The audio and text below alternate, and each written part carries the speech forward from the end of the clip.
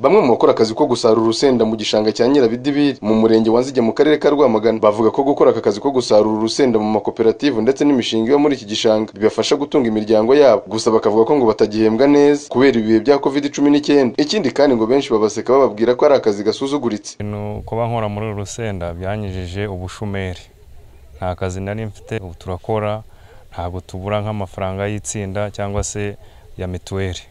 Natangiye gukora muri uru rusenda turi gutera mu kwezi kwa cumi n'abiri.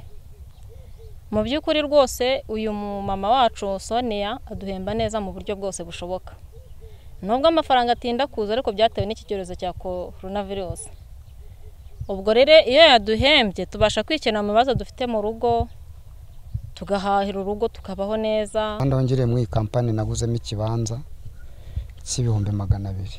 Fred Rwigamba umukozi ushinzwe ibikorwa n'imari mu mushinga Suk Investment Group ku murongo wa telefone yatubwiye ko ngo basarura urusenda kabiri mu cyumweru. Kandi ngo kubera ko bishyurwa amafaranga make bahisemo kujya babishyura mu byumweru bibiri. Mu gihe mbere ngo bajyaga bishyurwa mu cyumweru kimwe. Ariko ibi byose ngo byatewe n'iki cyorezo cya covid cumi n'icyenda. Urabizi ko muri ibi bihe bigiye bitoroshye bya covid uburyo bw'amafaranga bwo ntabwo bworoshye. Icyo dukora abakozi baraza bagakora. Dukora harvesting kabiri mu cyumweru aho mu mirima yacu no muri muri koperative hanyuma tukamenya totali y'amafaranga tugomba kwishyura tugakora. Ko rero akenshi aba ari amafaranga make umukozi usanga nko mu cyumweru ubundi aba ari buri cyumweru duhemba buri cyumweru cyangwa ibyumweru bibiri kugira ngo abaturage babone ari amafaranga agwiriye atari amafaranga buce buce nabo babone icyabasha kubateza imbere ari amafaranga karanga alphonse umunyamabanga nshingwabikorwa w'umurenge wa nziki. Avuga ko kuba abaturage bakora akazi ko gusarura urusenda muri iyi mishinga ndetse n'iyi mirima ngo bibafasha mu iterambere ry'imiryango yabo. Abaturage babona amafaranga kuko noneho ntabwo bajya kure umushoramari araza akabagurira aho ngaho kandi agahita anabijyana.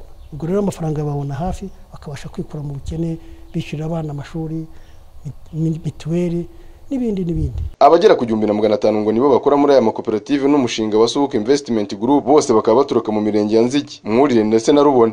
Yusufu ubona bagenda BTN mu karere ka Rwamagana.